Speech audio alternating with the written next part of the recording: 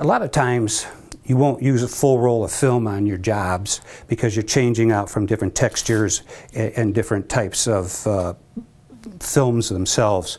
So what I like to do is to make it easier for me the next time I go to web up this partial roll of film, I'd like to rewind some of this liner back onto the film. It just makes it a lot easier when you're, when you're doing another web up. So the first thing I do is I cut the film, not the liner.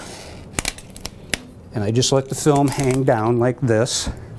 Then I come around to the back side and I start to rewind this liner back onto the roll of film itself. And you notice I have, I have a hold of both of these because this shaft spins, spins faster than the film shaft does. So I want to make sure that I don't get a get this all bagged up and loose on me. So after I get about three or four wraps onto the roll of film, then I can go ahead and cut that liner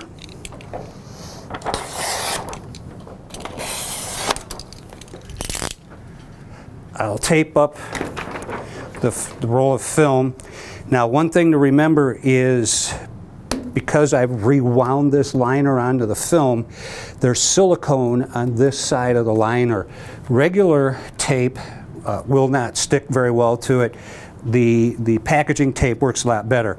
So if you have just plain old tape like this, you need to do a full wrap all the way around until you get back to the tape.